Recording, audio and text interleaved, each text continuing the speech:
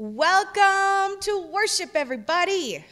So good to know that you are all out there with us tonight, worshiping. Let's start our time together by turning on our candles. Do you have yours? Now we know we all together during this time when we're apart. Pretty. I'm so thankful for each and every one of you watching. I, it's because of you that I'm even here, working at this church, getting to lead you in music. When we are able to be together in person, it makes my heart so happy to see your smiling faces and hear your voices singing our music, singing along with me. Will you sing along with me now? I think it's time for our first song. Let's begin our time together.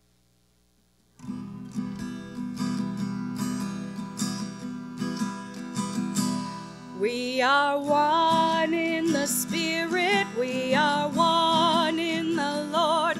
We are one in the Spirit, we are one in the Lord. And we pray that all unity will one day be restored, and they'll know we are Christians by our love, by our love. Yes, they'll Christians by our love. We will walk with each other, we will walk hand in hand. We will walk with each other, we will walk hand in hand. And together we'll spread the news that God is in our land. And they'll know we are Christians by our love. Yes, they'll know we are Christians by our love. We will work with each other. We will work side by side. We will work with each other. We'll work side by side. And we'll guard each man's dignity and save each man's pride. And they'll know we are Christians by our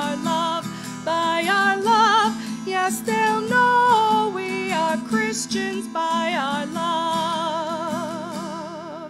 All praise to the Father, from whom all things come, and all praise to Christ Jesus, his only Son, and all praise to the Spirit who makes us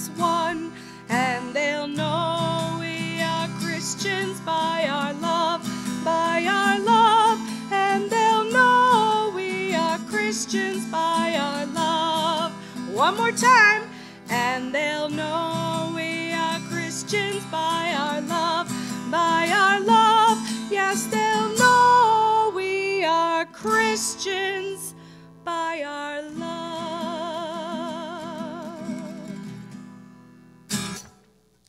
Thanks, Beth. Now, can we all say a short prayer together? Warm up those hands and fold them, and let's pray. God, we are thankful for your Son, Jesus. Tonight, help us understand the importance of also showing thankfulness to others. Amen. You know what, Beth? I can totally relate to what you said before the song. I, too, am super thankful for the people of this church. If it weren't for you guys, I don't know what my job might be. It might be something fun that I really like, like this, or it might be something boring, or it could be something really hard that I don't even like doing. That would be awful. I'm so glad that you all come to us each week, whether it's online, like tonight, or in person when we're able to get back together. I'm so thankful that I can share stories about Jesus with you all. So, last week, we focused our thankfulness on God and all the reasons to be thankful for Him. This week, we're going to consider the fact that if we are truly thankful to God for our relationship with Him and with Jesus, then we must also show thankfulness to those around us. not only for the earthly things they provide, things like parents taking care of kids or friends sharing toys with each other, we must also be thankful for them on a spiritual level. This means being thankful that others help us with things that we can't necessarily see, but that we can feel in our hearts. Do you guys remember our friend Paul the Apostle? We talked about him last week because of his great love of and faith in God.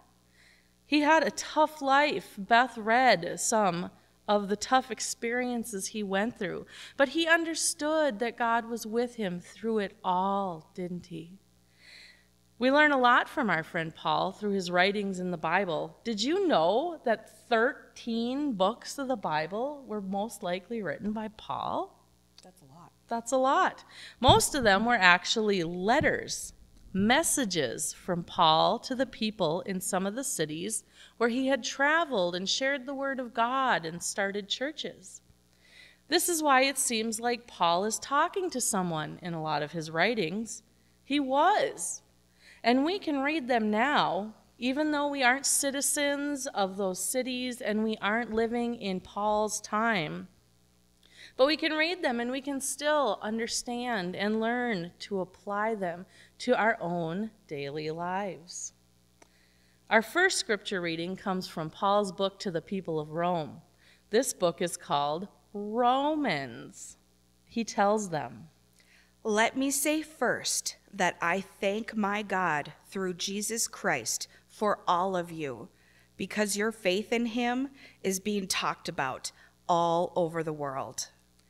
When people believe in God and talk about Him with others, that is something to be thankful for.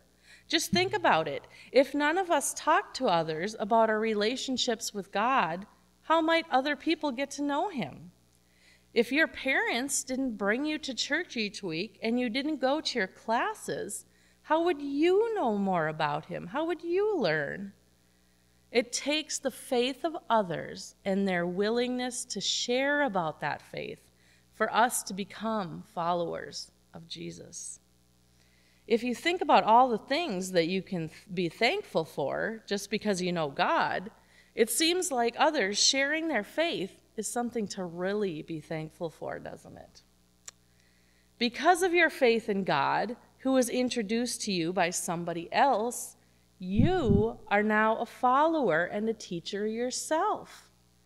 In Romans chapter 6, verse 17, Paul says, Thank God. Once you were slaves of sin, but now you wholeheartedly obey this teaching we have given you. Before you started getting to know God, you were a sinner. We all were, and we all will continue to sin throughout our lives.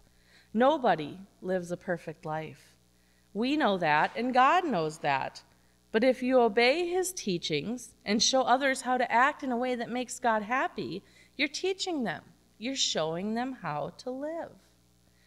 This is often referred to as leading by example. I bet you've heard that line.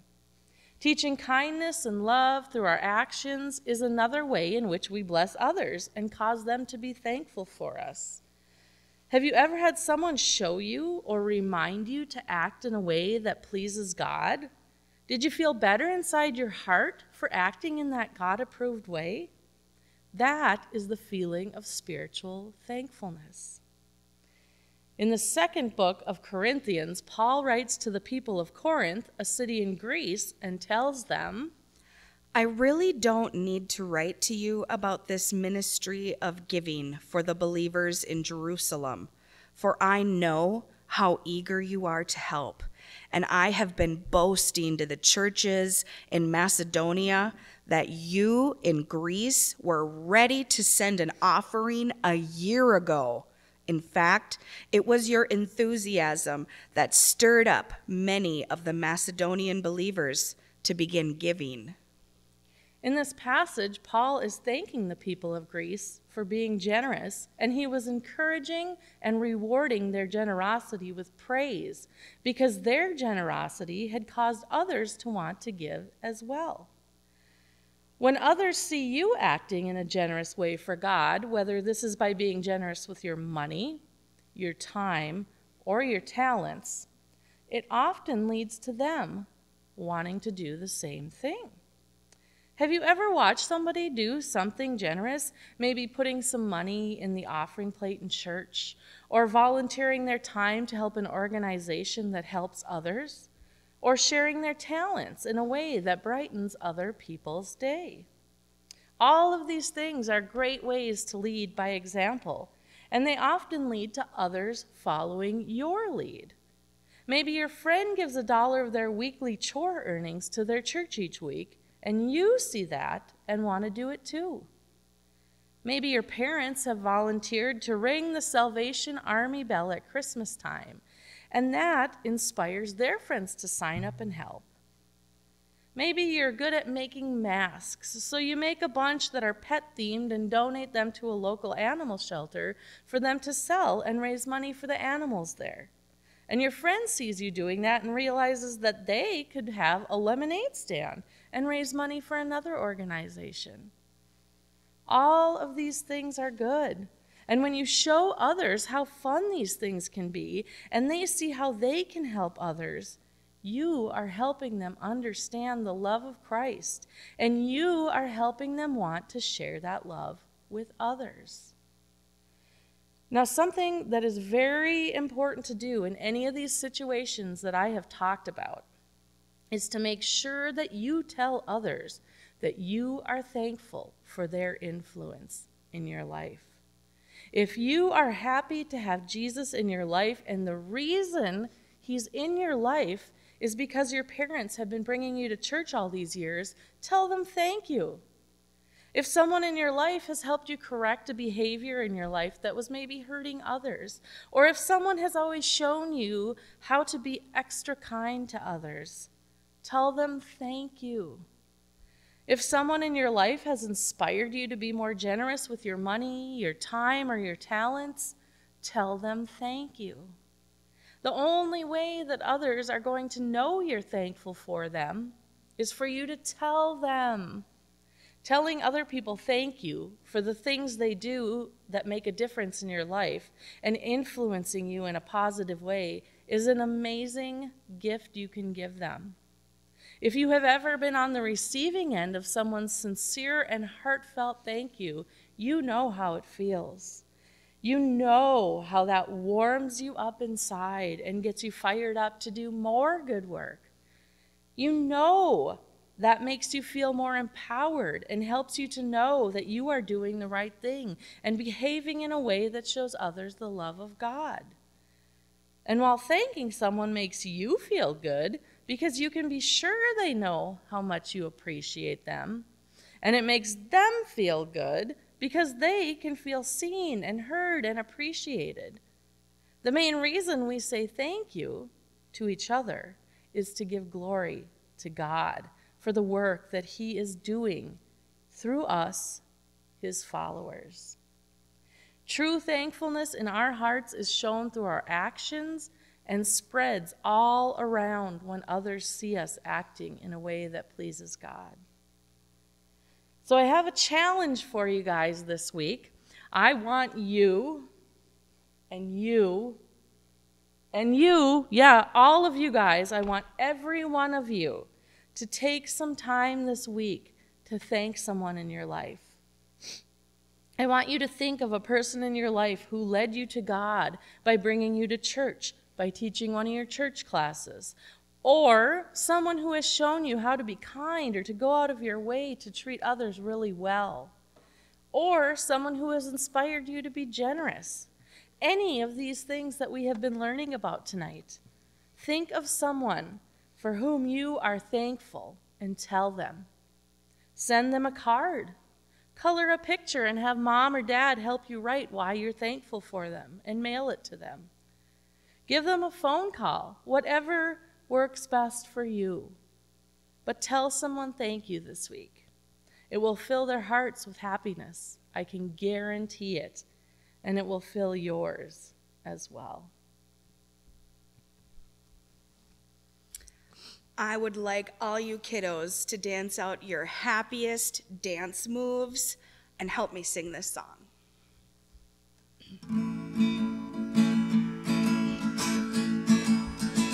I've got the joy, joy, joy, joy down in my heart. Where?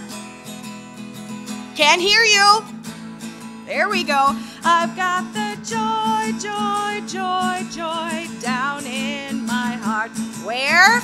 Down in my heart to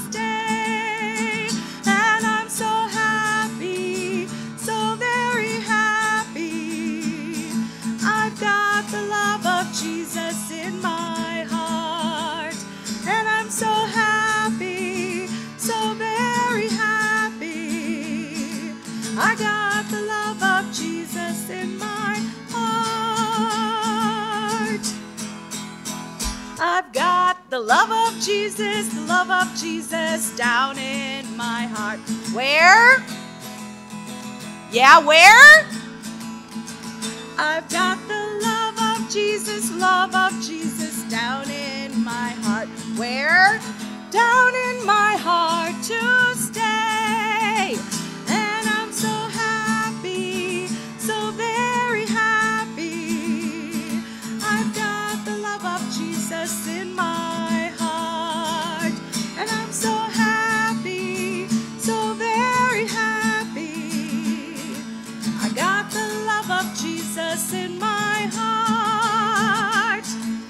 One's a mouthful. I've got the peace that passeth understanding down in my heart. Where? One more time. I've got the peace that passeth understanding down in my heart. Where?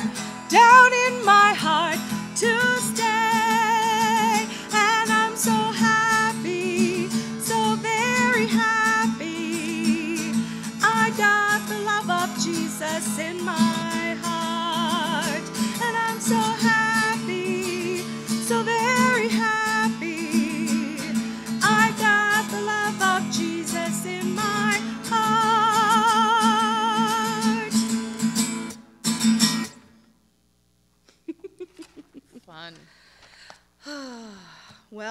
Ready to close our time together? Let's start with our benediction. Here we go. Who are we?